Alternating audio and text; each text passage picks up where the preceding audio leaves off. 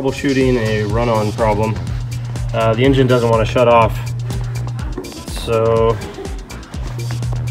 I've already disconnected the wire from the shut-off solenoid, which is right there. And last time I had a problem with that solenoid, the engine wouldn't start.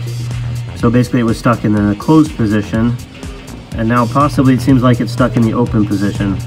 When I touch the wire onto the terminal there at the top, it does make a clicking noise, but obviously I can't see inside, so I don't know if it's actually opening and closing.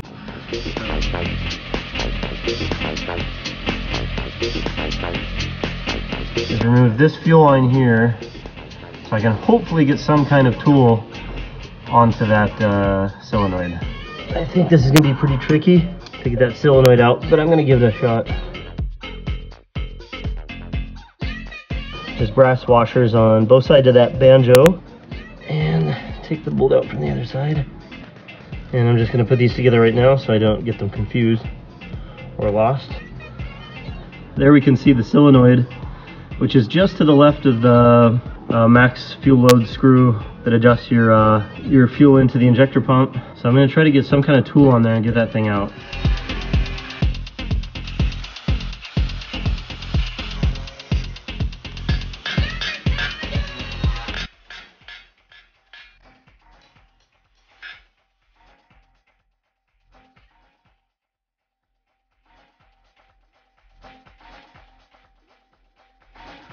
Okay, so take off the uh, accelerator cable, which is this one here.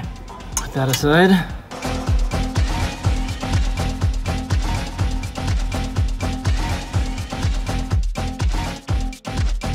I don't know that this is gonna work, but I'm gonna try. So as of now, I know that this, uh, this fuel water filter is in the way, so I'm gonna go ahead and remove that. Try to move that out of the way as much as possible. Maybe drop it down into this hole. Yeah, that looks about right. Drop it down there.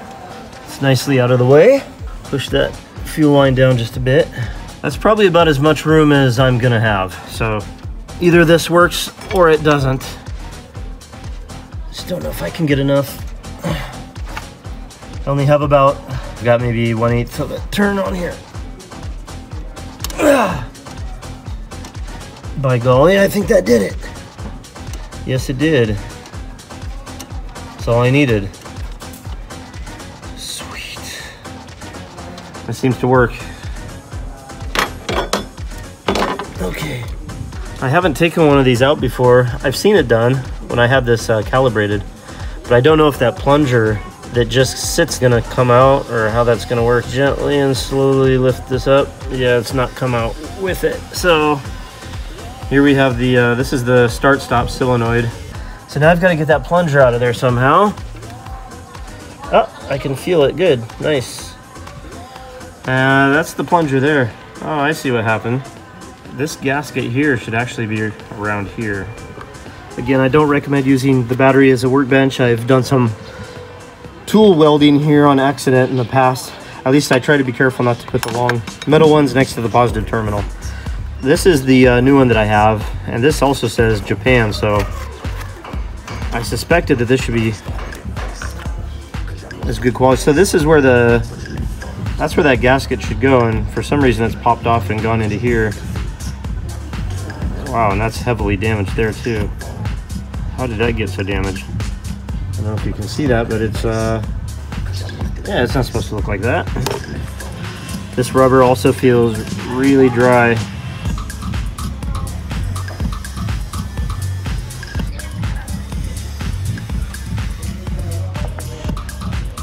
Let's compare the plungers.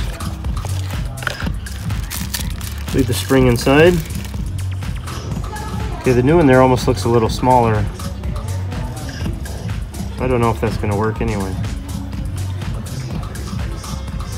That doesn't look quite the same. I don't know, I'll give it a shot, see what happens.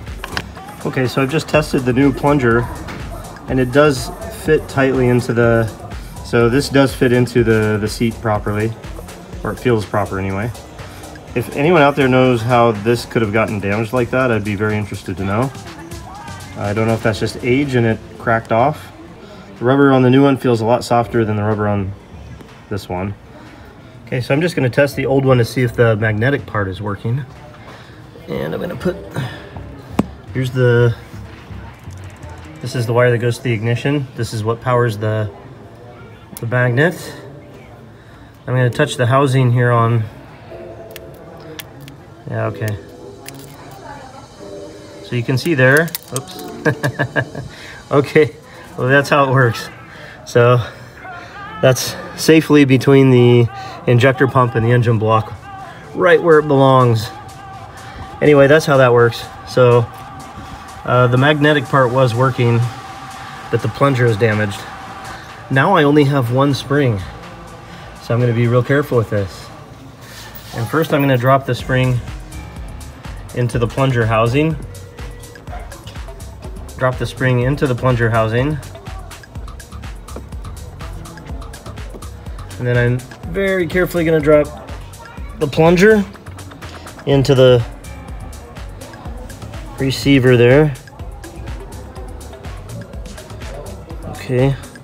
And I'm just trying to position it so that the top of the barrel of that plunger is as centered as possible so that this will nicely drop right around it.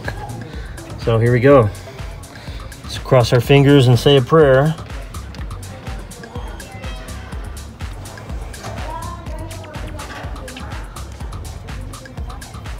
All right, that seemed to uh, that seemed to be acceptable. Okay, so now I'm going to turn on the ignition switch, and then I'm just gonna test that that is clicking in a normal sounding way. Okay, I've tried to position the camera where you can see the cutoff solenoid. And now my wire here is hot from the ignition. So I have to be really careful not to touch any any ground. There, I think you can see.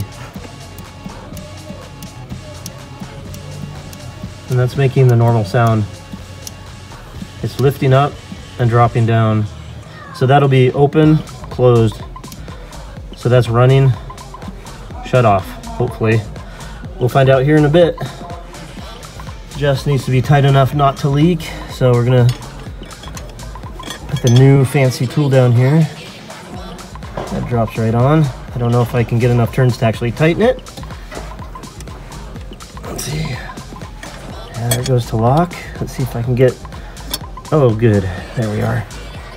Yes. Okay. And I think that's probably tight enough right there. My tool is not blocked by anything. And I'm getting two, two hands of torque on there and it's not turning. So I'm gonna call that good. Again, I tend to over tighten everything. So now I'm gonna put the uh, ignition wire back on. And again, I've turned the key off, obviously, so that that doesn't blow a fuse or start a fire. So I'm going to the ignition wire on.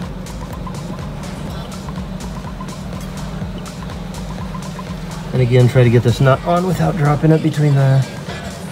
Okay. I'm just gonna hold the hold the wire from moving while I tighten the top nut. Yeah, it's already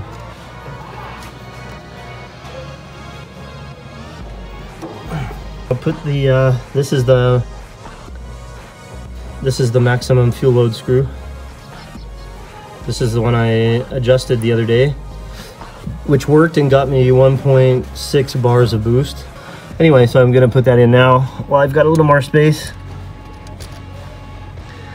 And as all I know is I've turned it 32 32 uh, small turns. One two three four five eight nine 30 so that's that's pretty rough but that's in the ballpark anyway. Probably gonna wind that back just a hair. It's better it's better to have low rpm and not enough fuel than too much fuel and too much rpms that you can't control and blow up your engine so just back that off a hair yeah back it off even more. I can always adjust that later. I'm gonna put this uh, uh, banjo fitting back on. So here's the bolt that goes through the banjo fitting. Got one copper washer on one side, or maybe brass, I don't know. And then one on the other side. Okay. All right, that's done. I'm gonna put the fuel, the fuel water filter back.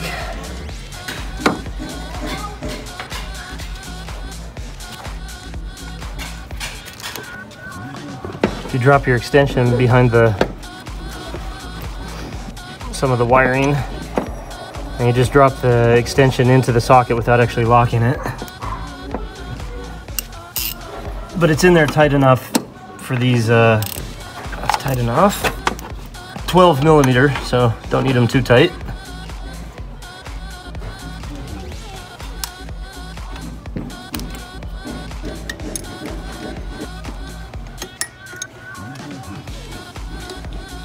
So everything important is in place, it looks like.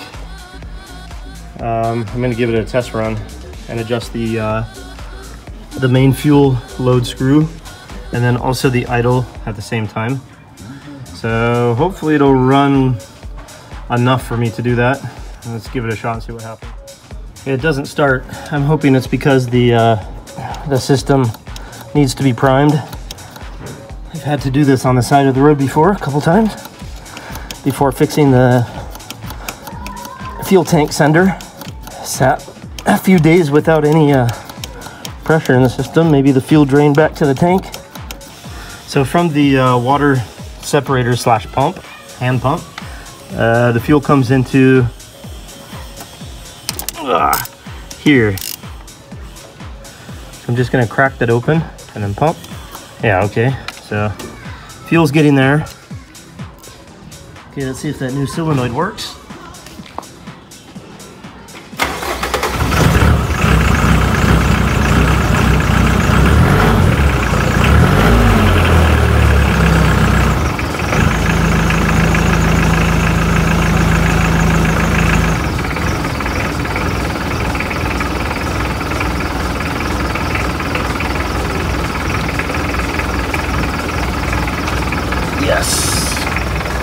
While we're here, I'm going to adjust that uh, max fuel load screw. We've got really low idle right now.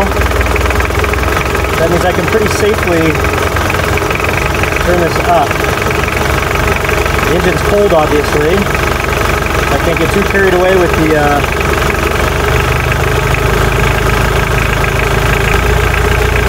that's about probably where I was. I'm gonna back that off a bit clamp at the intake manifold so that if the engine ran away while I'm adjusting the load, the fuel load screw, I can cover the intake manifold and, and stop the engine, stop the engine from running. So that way it can't get away from me.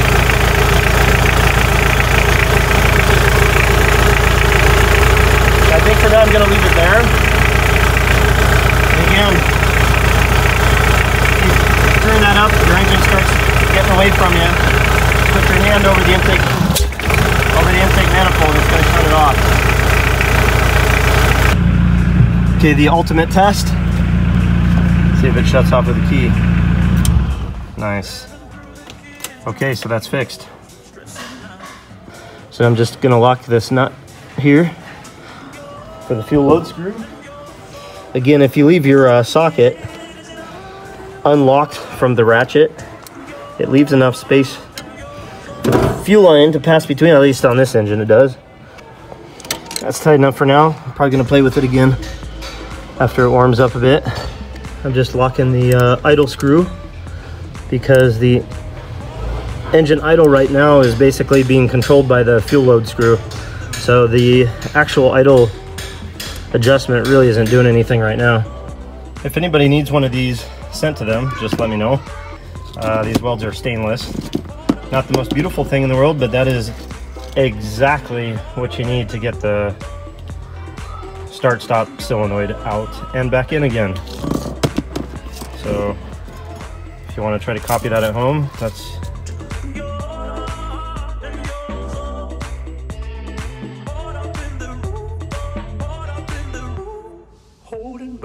Twenty-four millimeter And then this has been modified too. We welded on some extra material to sort of wrap around it because when it was more open, it would kind of slip off. So there you go.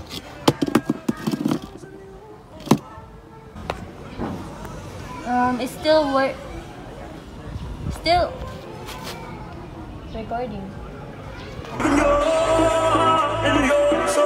Giving your